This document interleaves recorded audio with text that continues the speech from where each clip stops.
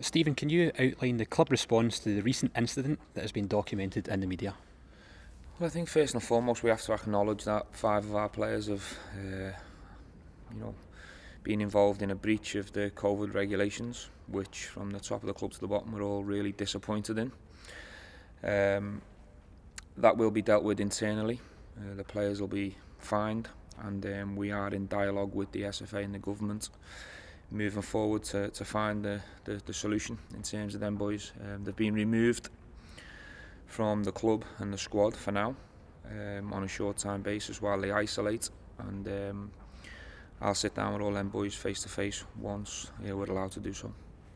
Do you feel the situation is now resolved to a satisfactory conclusion? Well, we'll certainly move forward from it. Um, I think we're at a real critical stage uh, in terms of the games coming up and where we are uh, as a club. Um, it won't affect uh, us as a group.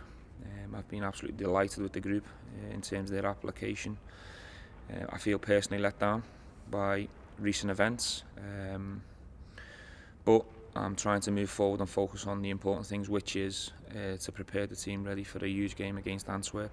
I'm really excited. I'm looking forward to the game. So the players, they've trained extremely well um, going into this game, and it's important we we focus on the important things, which is um, you know the games that are in front of us. Are you able to confirm the, the five players involved? Yes, uh, Bongani Zongu, Zungu is involved. Um, Nathan Patterson, Calvin Bassey, uh, Dapo, um, who is obviously part of the academy uh, on loan at Queen of the South at the moment, and a young goalie who is an academy player but has spent some time around the first team as well, Brian Kinnear. It's on to Antwerp then, as you say. How have the boys prepared for that fixture? Really well. Um, the atmosphere in the group is um, outstanding at the moment, um, playing with belief and confidence.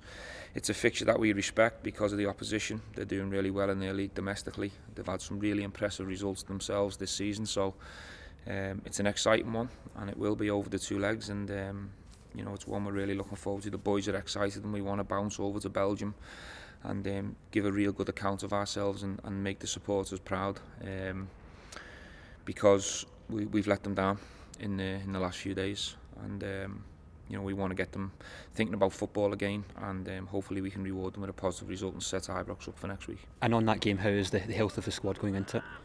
Well, obviously the boys mentioned um, won't be involved. Um, we've got some real good news in terms of obviously having Alfredo and Kemar back available.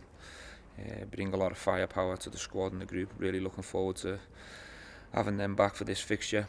Um, and you know, we've seen recent rumours that James is carrying a niggle, which is fake news. There's there's nothing in that one.